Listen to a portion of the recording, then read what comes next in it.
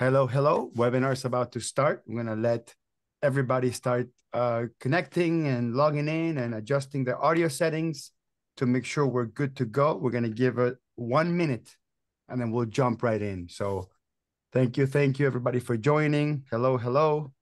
Welcome to the webinar. I'm going to give it another 45 seconds or so to allow everybody that's connecting live to uh, get their audio settings set up and all that stuff. And we'll go ahead and get started.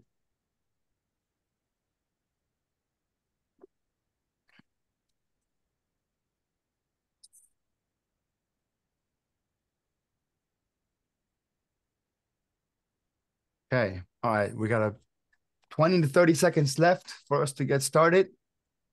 So get ready. We're going to hit record. Session will be recorded and we it will be put in YouTube and in podcast format as well. So, okay. All right. Let's get started. So welcome everybody to this eight part webinar series slash podcast series called Influential Conversations for Accountants. This session is going to be part two, and this is part of the Reframe uh, 2024 Conferencing Fort Lauderdale Hype Up slash us even brainstorming and preparing some of the topics that we're going to be discussing at the Fort Lauderdale conference in October in 20 in 2024. Now, who is this webinar podcast series for? It is for accounting professionals CPAs, enroll agents, bookkeepers, QuickBooks Pro advisors, small business advisors, anyone that works within the world of, of, of accounting and small business consulting services that is tangential to financial uh, reports and that sort of thing. That's the target audience for this podcast webinar series. Also, people that are looking to significantly improve their firm communication strategy so they can have more influential conversations for their clients. And the word influential, the word persuasion, everything in between, it's going to come into play in this uh, in this particular episode.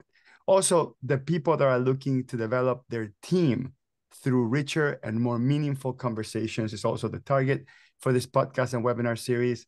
And lastly, the folks that want to improve their personal communication skills to bring less anxiety to and from work in their personal lives.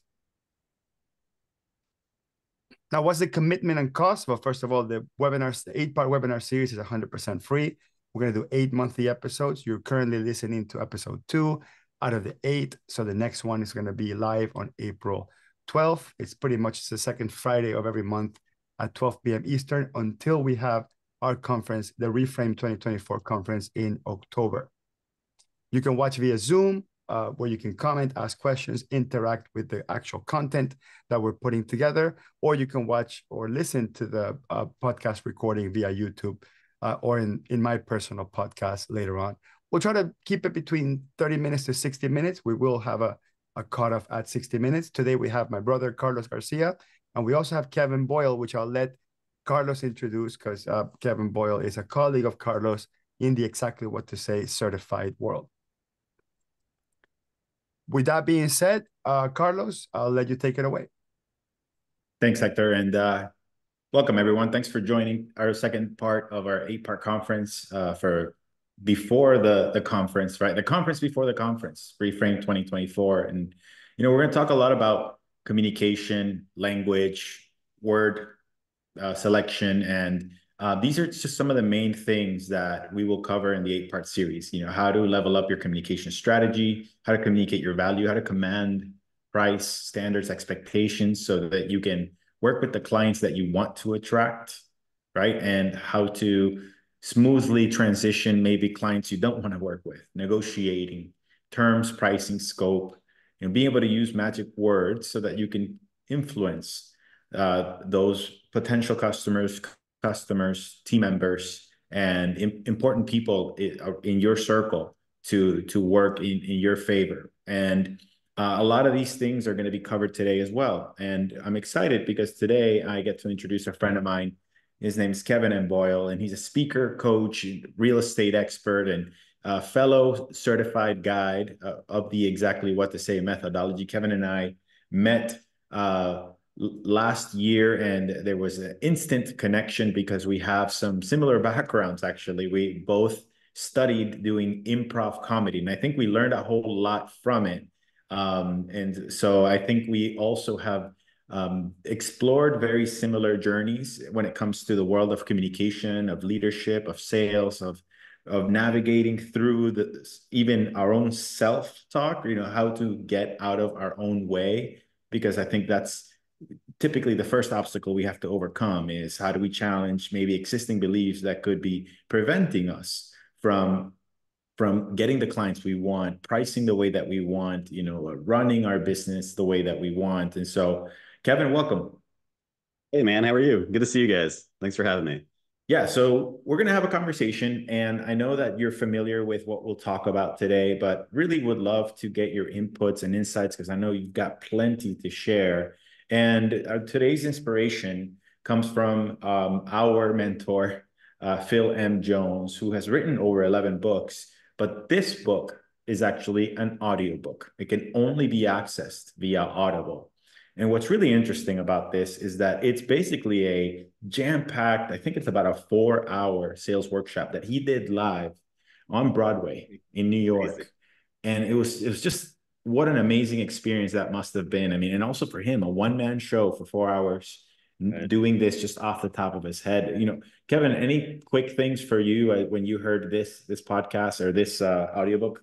You know, man, it, it, this is one of those uh, transformative moments for me, and and hearing him go through this entire four hour presentation, and you know, obviously with some you know sidebars and kind of leading into different sections. And it wasn't until afterwards that i realized that he recorded it live. And that i mean honestly that blew my mind but it also showed you know both you know his mastery of the material but also how casual you can be with this type of toolkit to be able to for everyone to learn it. It's very accessible and i mean i don't know how many times i've listened to this on audible like way more than probably you should but uh, this is this is a game changer for me in terms of not only hearing some of his work, but also see, hearing him apply it with some of the folks that that are there uh, in the crowd live watching. Yeah, I, I really loved how he not only did he have prepared material and a structure and a and a pace where it was easy to digest, but being able to use in the moment situations by asking the crowd for examples and being able to respond and navigate through those examples to help drive the points that he's trying to teach and the concepts. And so uh, it's really interactive. So I want to talk about the word persuasion. So as you all read this word right in front of you, big old word, because you know our intention here is to help you change your words so that you can change your world. But I'm curious if you could just type in the chat, when you think about the word persuasion or to persuade, what are some words that come to mind for you? What, is, what does that mean to you? Now, don't go over to ChatGPT or Google to, to actually give us the actual definition. We really want to know what you know.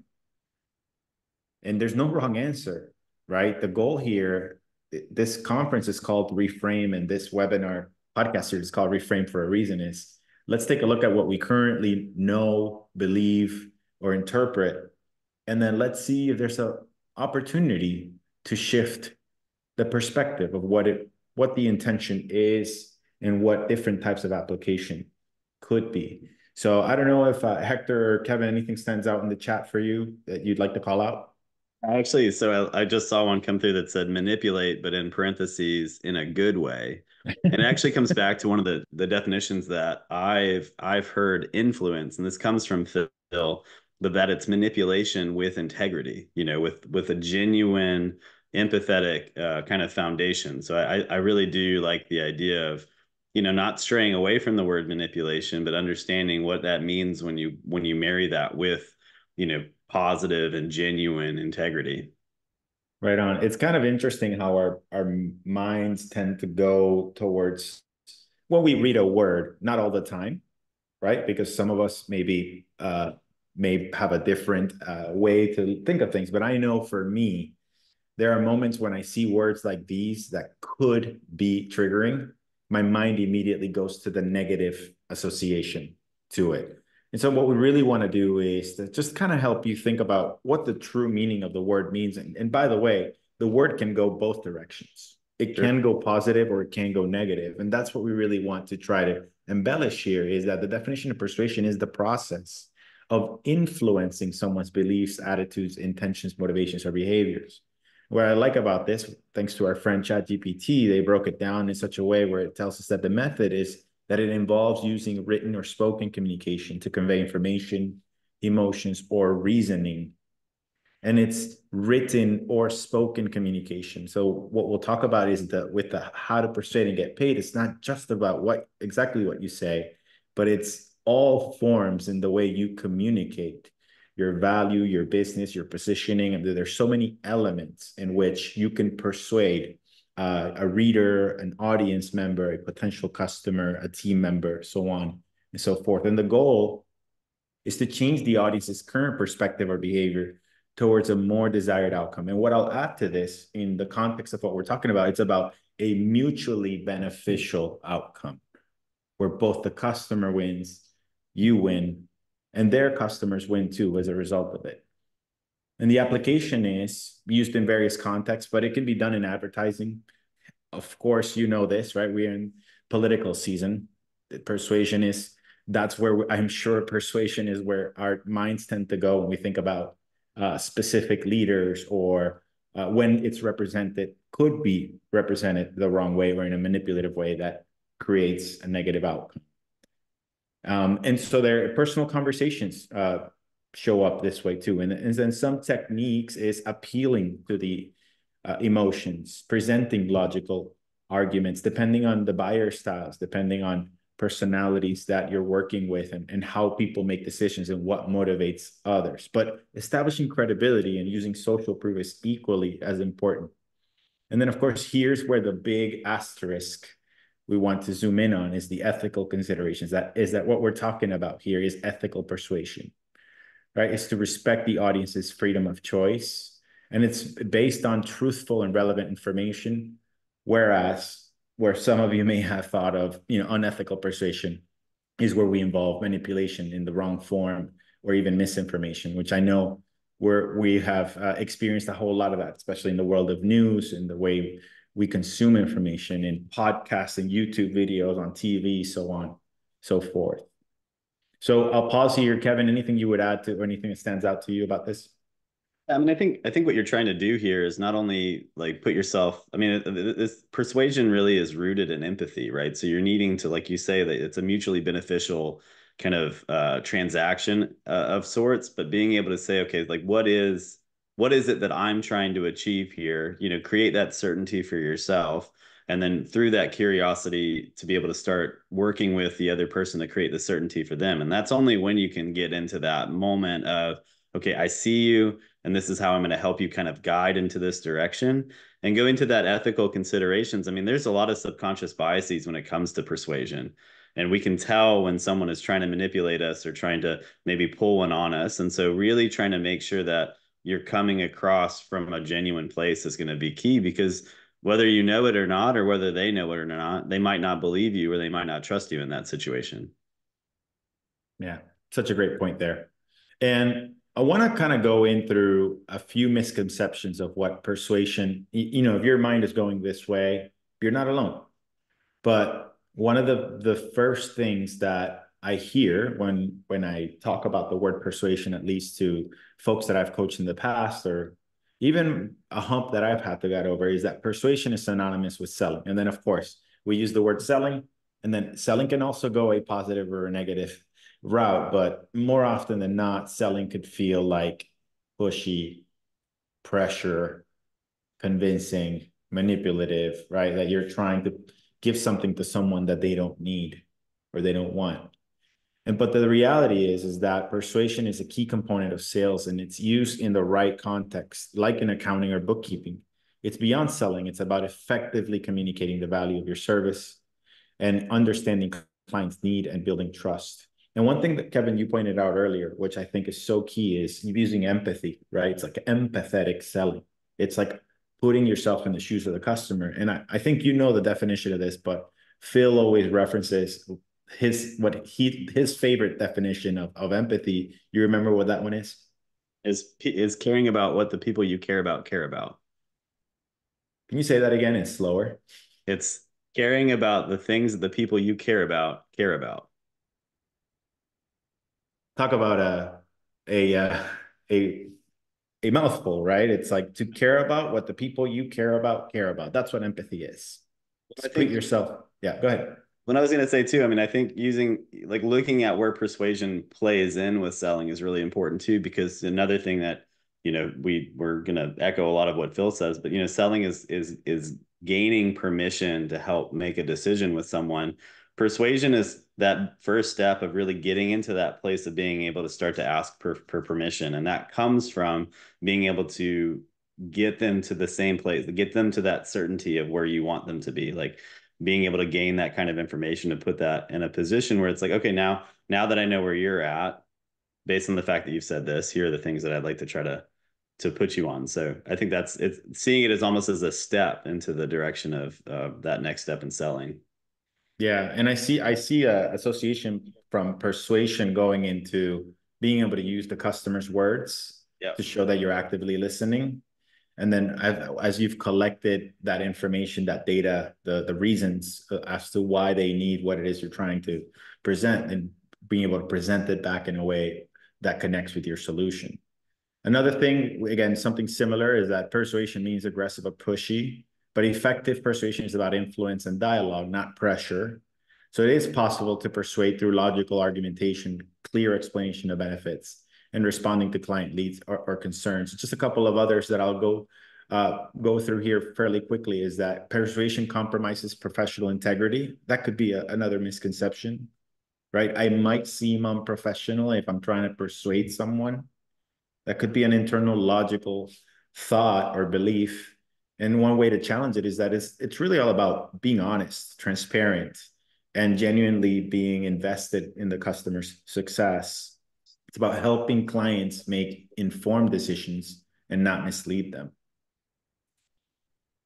And uh, another one is that technical expertise is enough and persuasion is unnecessary. I fall into this so much. And I'm not sure, Kevin, if you found this, is like people saying, you know, in the world of sales, it's like my work should already speak for itself. My work should sell itself. So why do I need to convince someone to work with me if I'm already an expert at what I do? And and I don't know if you want to share any perspective on that.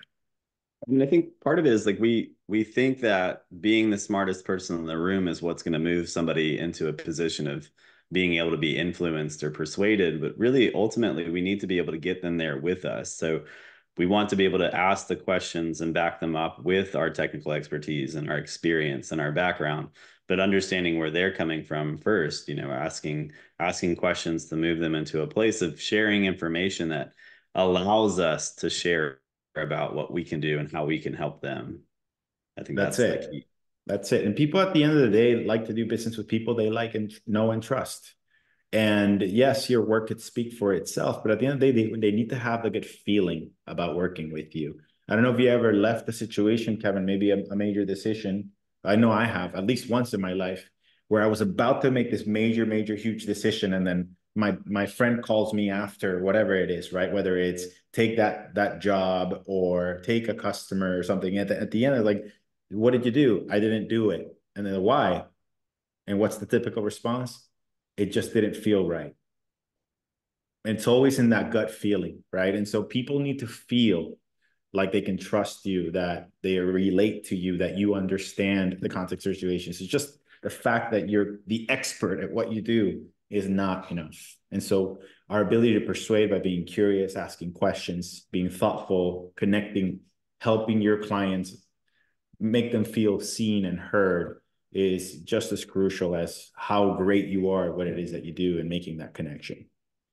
Clients are best convinced with hard data and facts alone. Maybe some, but not all.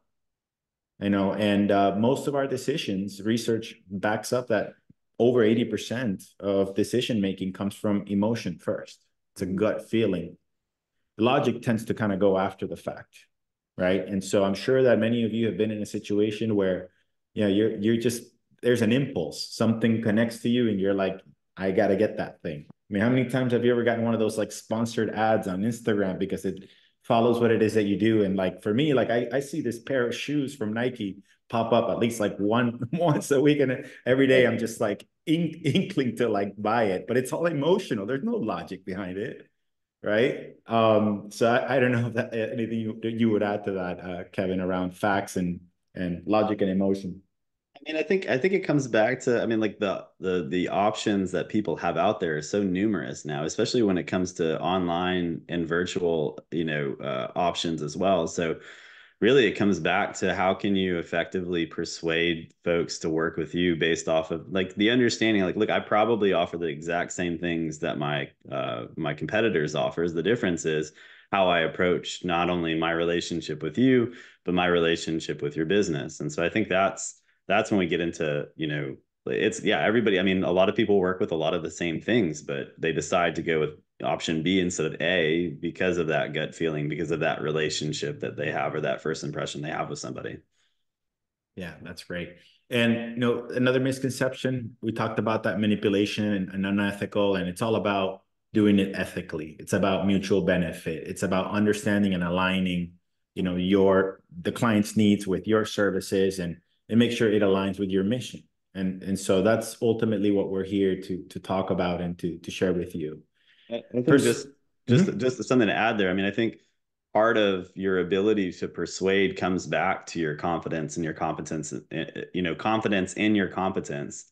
And so I think when you're starting to talk about how what you can do is to serve their company, is that you if you truly believe that, then it'll come across as genuine. You, but you have to really believe in the in the skills and the things that you're offering, and not just again trying to get to here's a here's a sales moment or here's a, manip- a manipulative moment it's really really believing in the foundation of what you do is what's going to come across as you know kind of that manipulation with integrity.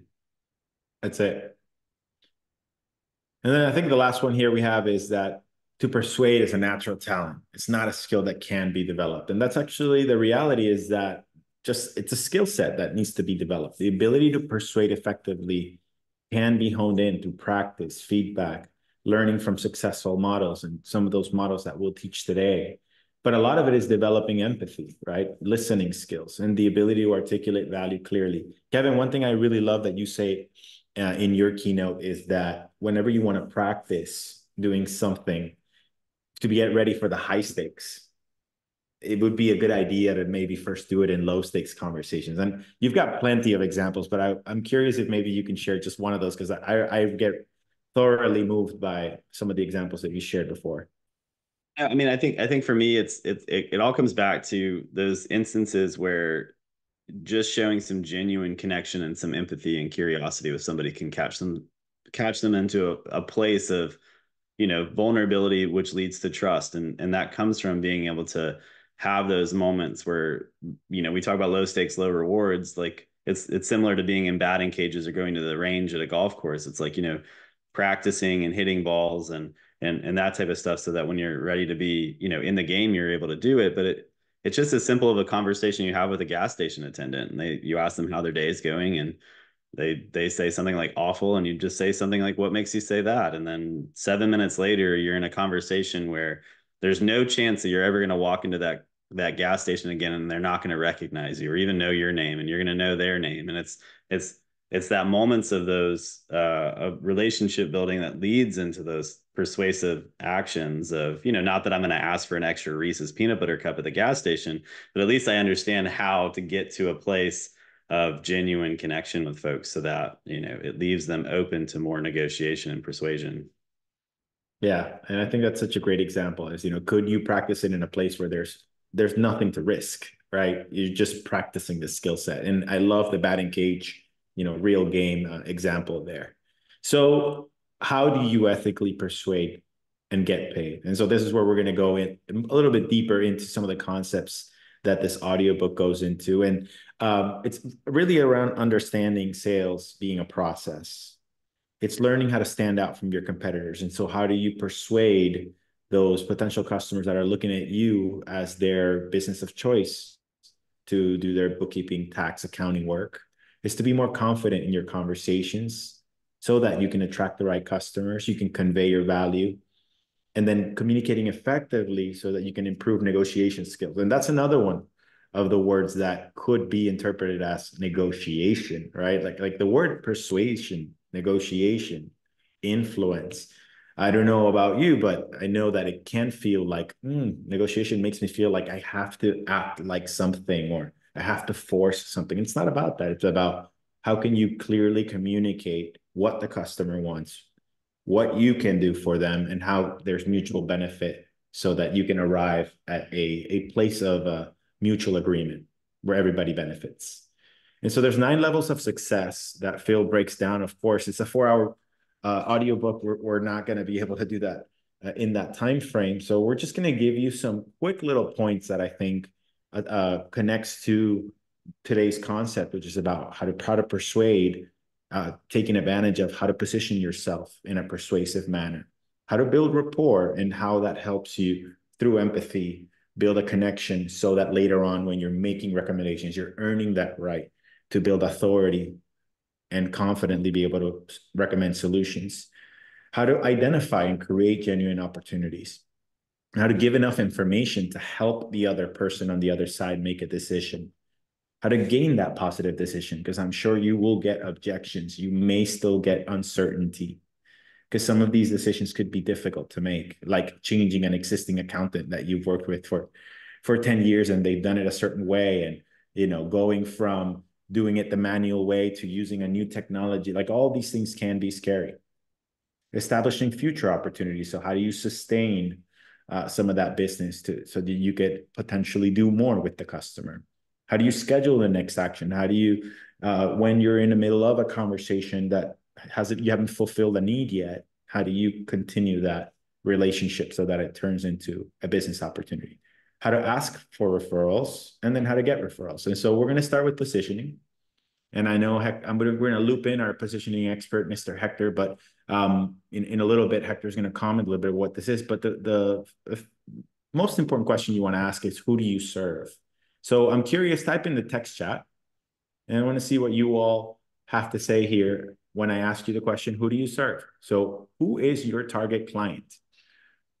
Let's see how um, how specific or vague you can be with it. Um, you know, we will might have a few folks that might say anyone that has a heartbeat and a pulse. Uh, and then we may have others who might say something super, super specific. And we're going to talk a little about the difference between one and the other. Right.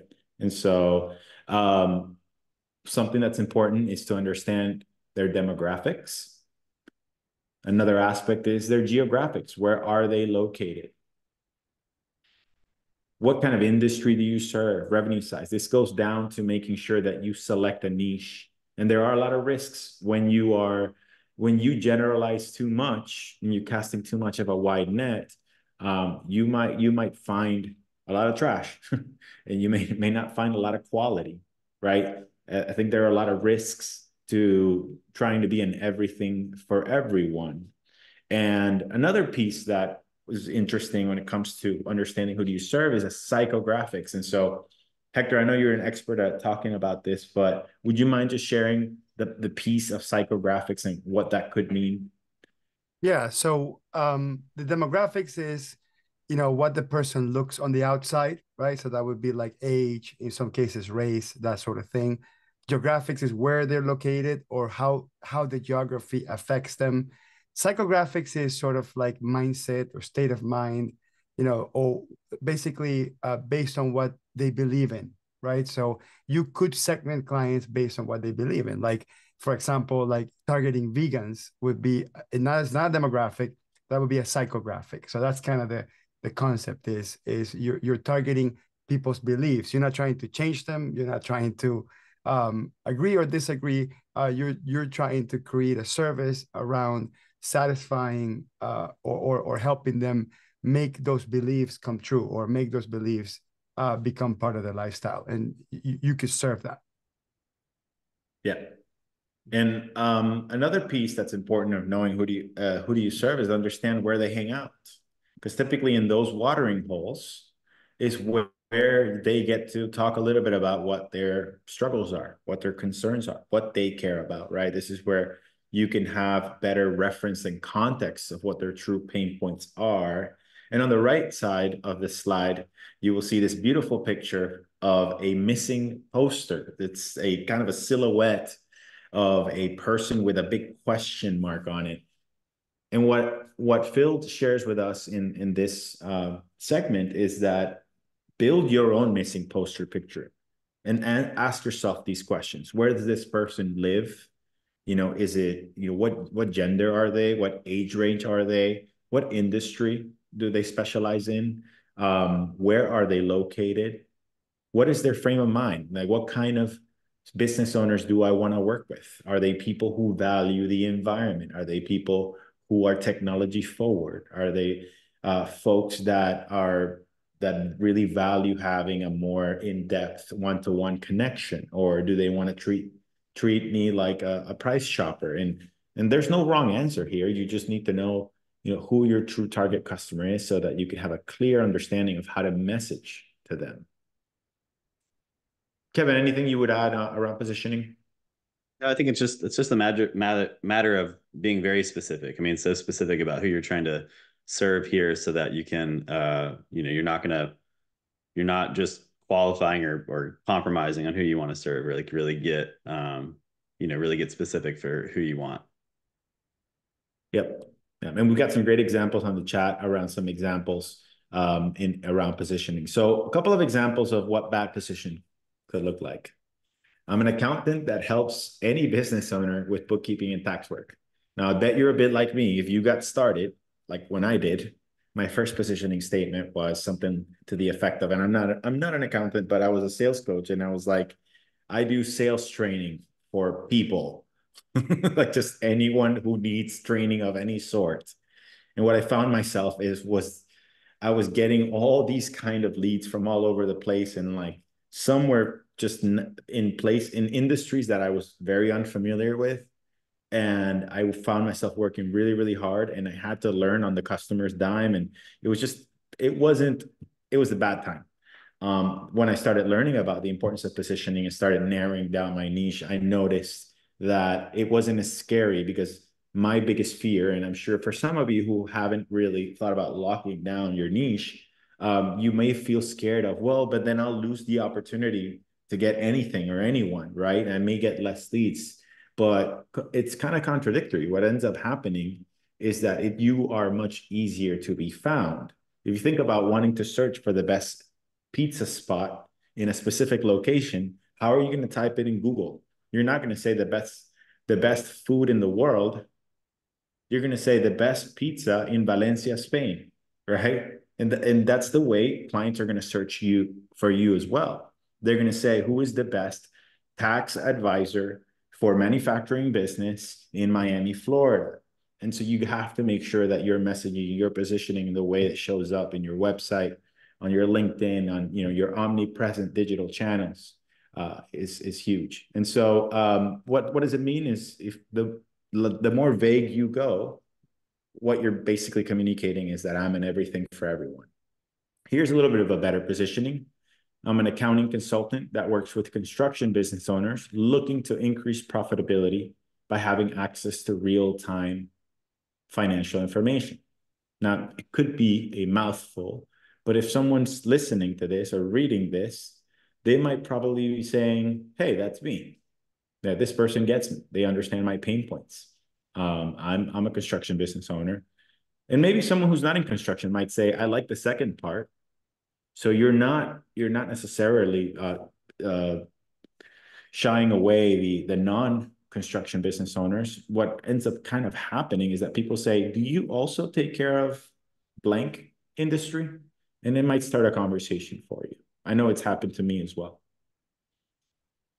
So what does this essentially say is I provide many services for a specific group of businesses. Now there are a bunch of different ways that you can improve your positioning. This is one of them. Another way you could say it is that I provide a very specific type of service for many businesses. Hector, do you want to share anything uh, on this and maybe some examples?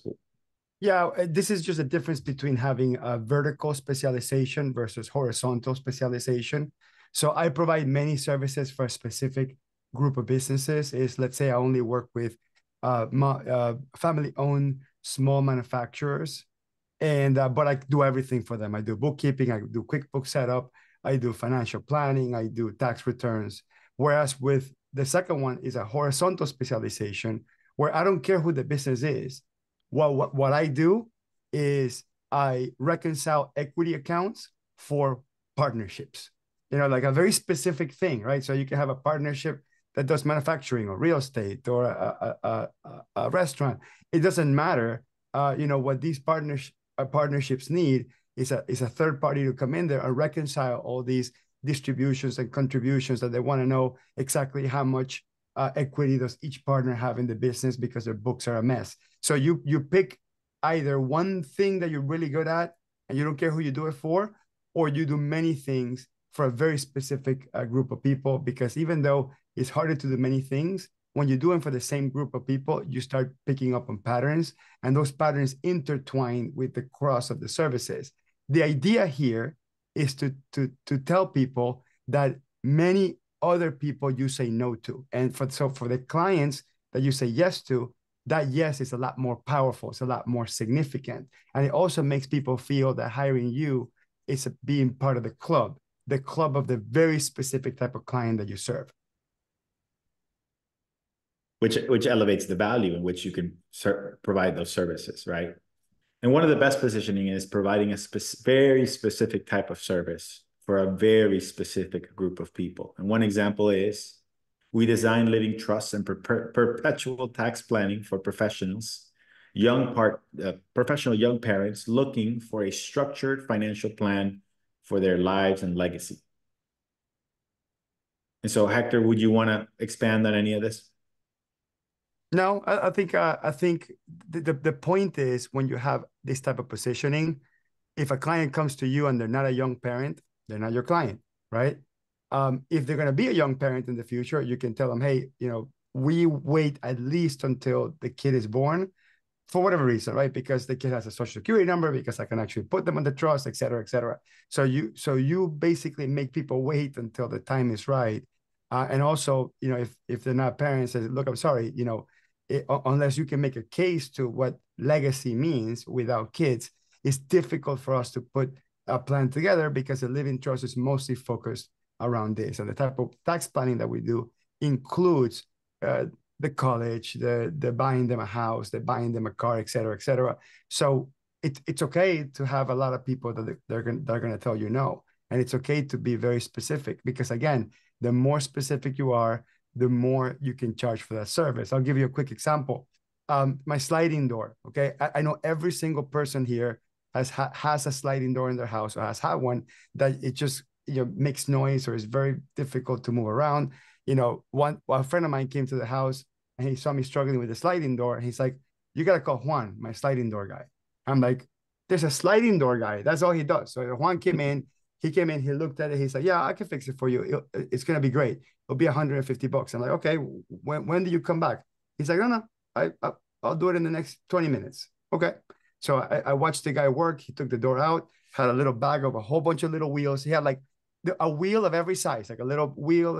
And then he, re, he repaired it. And then the sliding door was like, you know, like, like uh, smooth as butter moving on, on a heated pan. And then at that moment, I, I thought to myself, this is the best contractor I have ever worked with ever. The guy had all the stuff. He did it within 20 minutes. Yeah, he charged 150 bucks for 20 minutes, but then he was done. I was like, great. Now I now I got a handyman. So I tell the guy, hey man, give me your number. There's a whole bunch of things I need you to do around the house. The guy's like, no, uh, sorry, I only do sliding doors. Uh, and I say, why? You're so good. He's like, that's why I'm so good because I only do sliding doors. So at that moment, um, you know, I saw you know, best possible position you can see. I saw it firsthand and I lived it. I experienced it. And I got to tell you something. I've had multiple contractors in my life. I have never recommended somebody so enthusiastic like my sliding door guy. Every time I get invited to a friend's house, I'm checking all the sliding doors to see if one starts squeaking, just so I can have the opportunity to recommend Juan, my sliding door guy. Say you stop getting invited to party Hector. this is how you get raving fans, right? So when your customers start checking other other uh, friends' uh, tax returns, they're gonna be like, "You got to talk to my my tax person." Um, but yes, so positioning. What problem do you solve? Identifying that need and gap, and helping you focusing on the outcomes and impacts not the inputs. And where you develop your unique value proposition is where you can be the most persuasive. So being able to be effective at knowing how to position yourself and make it simple. Use simple language. Don't use jargon or technical language that only you and your colleagues know. Use words that your customers are saying in their testimonials or when you ask them, what is it that I did that helped you solve your problem? Be able to use that in your positioning as well and having evidence of that success. So the second uh, aspect is is building rapport. And we talked about decisions being uh, predominantly based on emotions, not on logic. And so finish this sentence if anybody wants to play this game is people do business with people they blank, blank, and blank. If some of you know that, go ahead and type it on the chat real quick. Let's see if you get the big prize. The big prize will be Hector will share the number to the sliding door guy for everybody to get. That's right, Stephanie. Hey, no like and trust. I think we've got some folks who who've heard this uh, plenty of times before. I may have said it earlier. And so that's what building rapport essentially is. You know, it's going back to that misconception is that we can't lean on just of our technical expertise. You know, go on the on the QuickBooks ProAdvisor site, putting our names in the directory, and just expect that our business is just going to grow tenfold just because our name is on there on the website. There's more that we need to do to build that emotional connection with, with that audience. That's just an example, one, one of many examples. And so rapport is not just built in conversation, it has to show up everywhere on your business card, on your website, in the content that you create, social media, especially in the world of social media, people consume so much of it and their decisions are being influenced by the information that they get on social media. And if in their close network, you happen to be that sliding door person in the world of tax accounting, etc., then this is how you persuade them to choose you over the other tax bookkeeping accounting profession. I have to say, Liza, Liza took the words out of my mouth in the chat there by putting in reputation, right? I mean, I when I hear rapport, I think of that as the external kind of uh, manifestation of your reputation, right? You think about maintaining rapport is the same way that you maintain reputation. It's consistent, right? Um, if Juan started recommending or Hector started recommending Juan to everybody and and all of a sudden like he gets three or four people back he like, I mean, Juan came into my house and he had no wheels and he charged me four hundred dollars and he didn't fix it. You know, it's like that's the same that's that reputation but also that rapport piece so i think that's that's a, a, a, really good point that liza makes there in the in the chat Yep, showing up everywhere and showing up consistently and, and backing up whatever claim you you are saying that that you are there to commit to in helping your customers. And what do you all think is the best tool to use in conversations to build rapport? It's you got two of these, but oftentimes we use the the the one piece that we have more than the two piece, right? So we can have it's twice as powerful to listen. And we we listen through curious by keep staying curious, right? And being empathetic and by listening and paying attention to those things that our customers are telling us that are the, their pain points, what's important to them, their priorities, and saying things like, um, you know, and being quiet. And one thing that that Phil likes to say is that the same word "listen," if you move the letters around, it actually spells silent. And one of my my words that I learned when I was facilitating in the world of of selling and even facilitating is the word wait.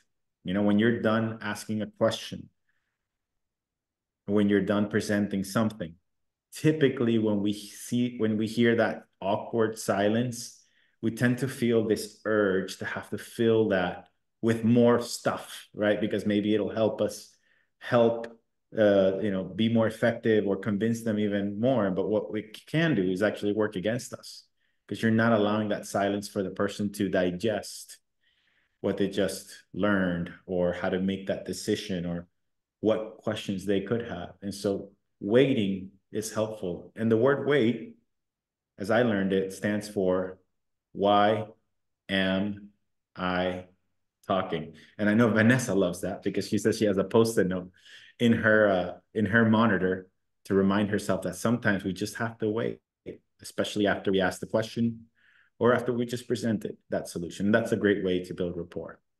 Using their name is another way. I think that's the word that everybody loves to listen to the most.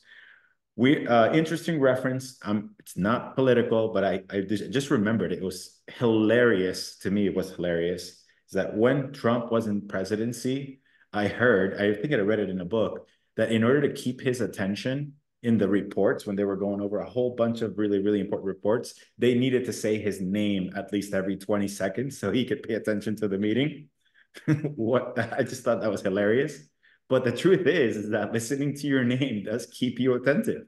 Um, and so I, I know it may not be a good reference with what we have going on this year, but but I mean, come on, use their name. Using their name helps them know that you know you're present, that you you are listening, you're curious, and you are genuinely invested in them. Other words you can use by showing that you're listening. Uh huh. Wow. Nice. Hmm. Right. And so these are just some other ways to acknowledge that you are present, that you are listening. And then again, you're just acknowledging what it is that they they are want to share with you. So keep a, few takeaways. I know that I saw it in the chat earlier is that smiling is huge. Show genuine interest, use their name. And if and one of my favorite other quotes that Phil shares in this audiobook is that if you want to be interesting, you have to be. Who wants to finish that phrase? we're playing the game in the chat here. I get to see it. If you want to be interesting, you have to be interested. Thank you, Lori. You win the prize. Hector, share Juan Juan's contact with Lori, please. She gets a wheel. she gets a wheel. It's a wheel. All right. So you have to be interested if you want to be interesting. Now, how do we create genuine opportunity? Is we sometimes do tend, we think that effective persuasion is asking one question and all of a sudden we think we know the solution already to it, right? And that's where this quote becomes really relevant that prescription before diagnosis is malpractice, right? We haven't earned the right to make that recommendation if we haven't collected those evidence points, if we haven't collected the facts and, and, and really, really solidifying what it is that they're trying to, to accomplish. And so uh, one of the four cornerstones of conversational excellence from the exactly what to say methodology is that the person asking the questions controls the conversation. And so going back to using curiosity and empathy, and could you frame up curious questions, empathetic questions? Are we seriously sending information to? Uh, As I'm watching, like I hear you, Carlos. Yeah, I know. Like there's like like Juan's information's really going to Lori. I yeah, think that's amazing. I, our sliding door guy is really becoming a hit in this uh in this uh, reframe. Are, Hector, are we inviting him in October? yeah, yeah, he, he's coming for sure. Carlos, question on the on on the whole concept of why are you still talking? Don't feel this. Don't feel the silence. But then the whole other concept you're saying that the person asking questions controls the conversation. Do you have a how do you bridge that gap? You know, like where you, you're telling us you have to be asking the questions to lead the conversation, but you're also telling us if there's an empty silence, you know, you got to shut up, don't ask a question. So is, is there something in between or is there, or sure. do you fill the silence with another question? Yeah. And I'm sure Kevin can chime in on this too. I, this is an art, right? There's a, we're sharing a little bit of the science. The art is in the practice. It, a lot of it is feeling the moment. But what I would say is have you ever found yourself, and Hector, I've caught myself doing this. I've caught you doing it because I know that it's sometimes our brain is is faster and we can't catch up with our thoughts. So the first thing that comes out of our brain is like a question that we ask but then we thought about a better question to ask after the first question so we layer it with a different phrased question but then we thought about a third question to ask. Have you ever found yourself asking three questions and it's all the same thing, but you just you just rephrased it as you said it? That's a perfect example where you could you can ask a question, but if you if you're overly asking the question, you could actually confuse the audience. Or, or you can lead. I think that's that's the other challenge. Is like, for example, in in law, and I don't know anything about law, but I've seen a lot of TV shows and movies where if if the attorney asks a question that basically drives the person to a very specific answer, they say objection leading, right?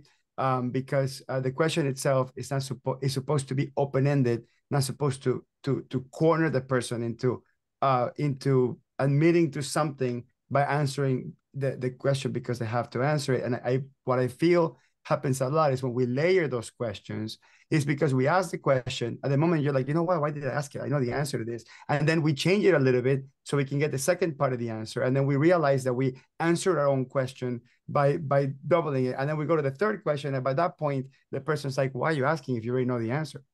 Right.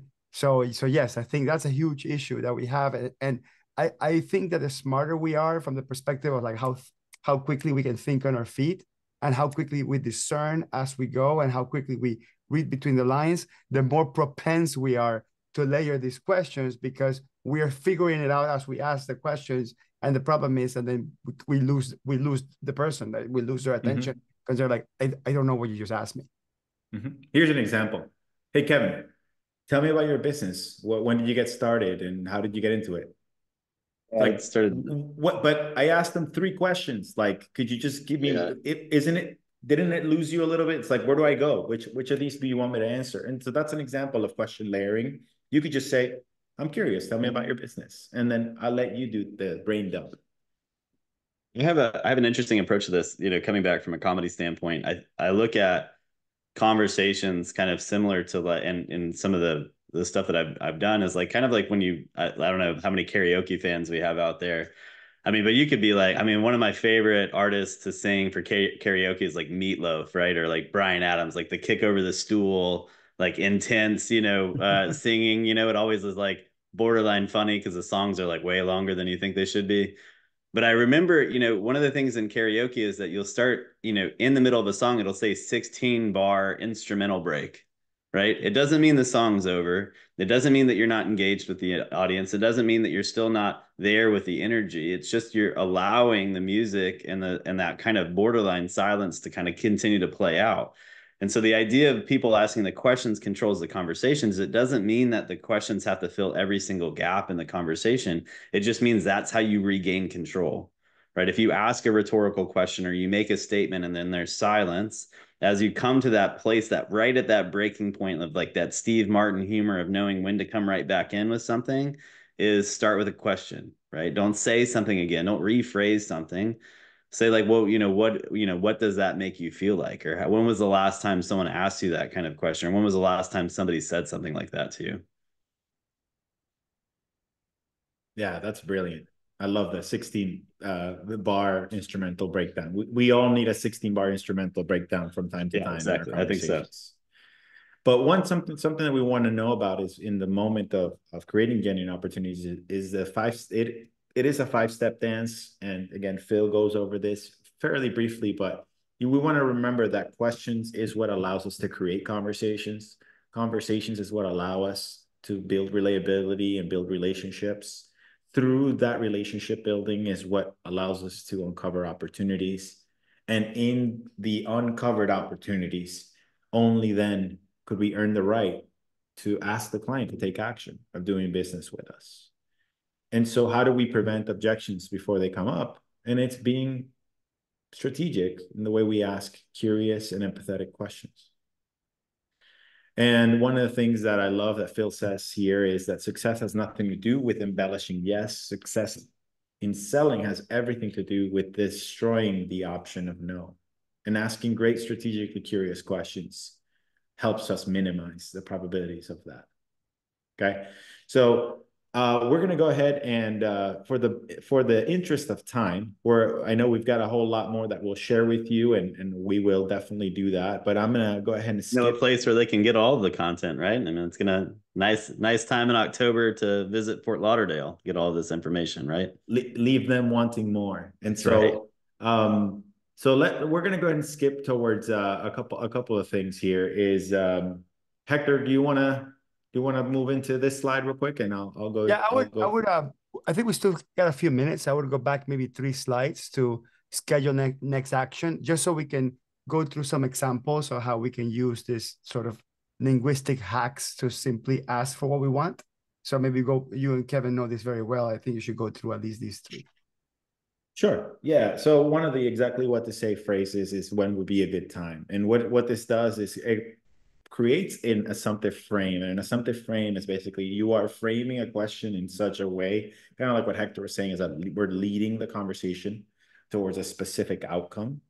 And by putting in that framework, what we're subconsciously telling the listener is that there isn't a bad time.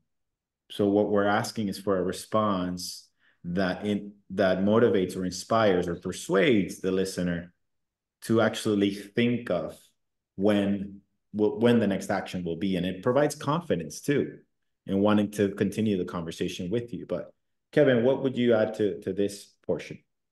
You know i think this is this is one of those uh you know like at this point you know going back to we're gonna i'm gonna use football as an example it's like you've been running the ball right? You're getting three or four yards at a time but you need a big play right? You need a 10 yard pass 15 yard pass 20 yard pass whatever it is. This is that scheduling a next action when you start getting into referrals this is where you kind of sw- like flip the script a little bit and really try to look forward for forward momentum by assuming hey listen everything we've talked about to this point is lining up with you with me. When is a good time to for us to talk about this? And and getting as specific as when they say well you know I, I could probably talk to you next week. It's like okay is the beginning of the week better or the end of the week better? Well the beginning. Okay monday or tuesday? Well monday. Monday morning or t- monday afternoon? And like getting as like you're at that point you're moving as quickly as possible into that next action. Um, you know it's a it's a little bit of a different cadence. Yeah and typically it's a good uh, part to when you were getting an objection of hey let me think about it or when you get an objection of uh, send me the proposal. You know or when you're getting that that type of uh, response from a client where the full decision hasn't been made yet, but you're kind of three quarters of the way, you're almost close to that finish line, as as Kevin shared it. These are these are good moments to insert the hey. So when will be a good time for us to revisit this conversation? And then lastly, uh, we'll talk a little bit about referrals. You know why people don't ask for referrals, which is another you know element of uh, of being able to persuade and get paid. And one best way for you to get more customers is asking for referrals. And most people don't ask for referrals because in some cases they don't want to feel like they're bothering their existing customers. Another is they don't know when to ask for a referral. And the most the, the hardest one is they don't know how to ask for a referral. And so there is a, a segment that we'll go over, but we won't we for the interest of time we'll go over today, but there is a, a strategic way that you can ask for a referral where almost always it will result in a very warm introduction towards uh, a potential customer. And this is one way you to persuade to get more business for customers like the ones that you took care of.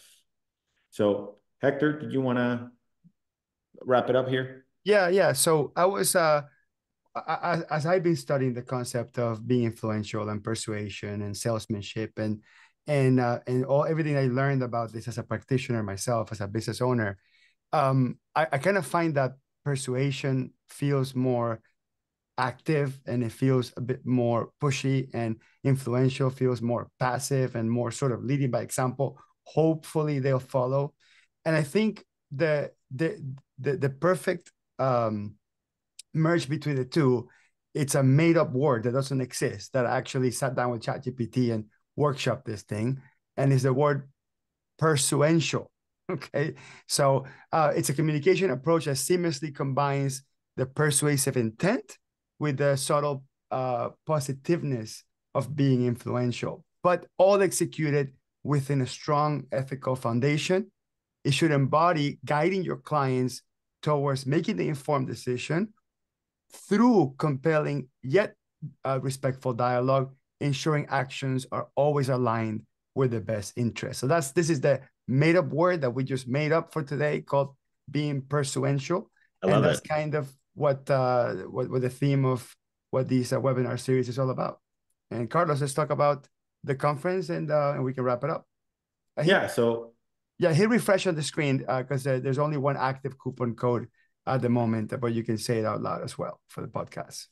Yeah, sure. So, you know, obviously, if you want to learn more about uh, how we could, uh, you could be part of this uh, this journey of uh, of reframe. Uh, we have a conference happening in uh, October 24th through 26th. Let me go ahead and share my screen again one second. Um, but I think Hector, you're you're taking I control it. again. I'm sharing it. Yeah. Yeah. Oh no, no. So yeah, I'll just complete your thought here. So the the conference is in October. Uh, it's going to be uh, Thursday, Friday, and Saturday, last weeks of October. Uh, we will have a sort of networking event on Wednesday night. So you want to do want to come in on Wednesday night so you can meet everybody and we can you know get to know each other and then we'll get the work uh, started on Thursday, Friday, and half of the day Saturday. We'll talk about having more influential conversations with our clients, with our employees, with our colleagues, with our partners, with our software companies that we deal with. The ticket price is $1,800. I'll be speaking there. Carlos will be speaking there. Kevin will be speaking there. Uh, and there is an active coupon code 0331. Just use code 0331, which expires March 31st to get a $200 uh, off of the ticket price. So it comes down to 1600 We've had, uh, no, we're probably about halfway something? through with our ticket sales. Yeah. I just want to throw in something really quick. All the conferences that I do, going behind the scenes with you guys and talking about what the, what's going to happen at this event. This is the most intentional and thoughtful uh, setup for for getting people to learn about stuff at this at this conference. We're talking about how the the keynotes lead to the breakouts, the the conversations in the halls and the corridors. All this is going to be really guided, and it's so wonderful to be a part of this. I'm excited to be a part of it. But I will tell you what Carlos and Hector are doing behind the scenes to really make this an intentional conference, so that you come away with every takeaway humanly possible uh, and then some. I, you know, I'm I'm super excited to be a part of it. What you guys are creating is really going to be a an industry disruptor, but also something that is going to move people into a you know really actionable um, position when they when they come. Thank you so Kevin, much. Thank, so reframe2024.com. I forgot to say that. Sorry, Carlos. Reframe2024.com. www.reframe2024.com. Thank you very much. Wrap it up, Carlos. Yeah, just to close it, one of first huge thank you for all who joined today. Huge thank you, Kevin Boyle, for joining us and sharing your incredible experience, knowledge, and insights. Um, you know, we we are just very grateful and excited for those who are already coming, and for those who aren't coming, it should be a no-brainer. And uh, shout out to those who joined that are all other exactly what to say coaches who will be joining us in the conference. Shout out to those who are coming to the conference and the table facilitators that will be helping us through this experience. And, and we're super excited. And so thank you all for joining today. And uh, with that, until next time. Thanks, guys.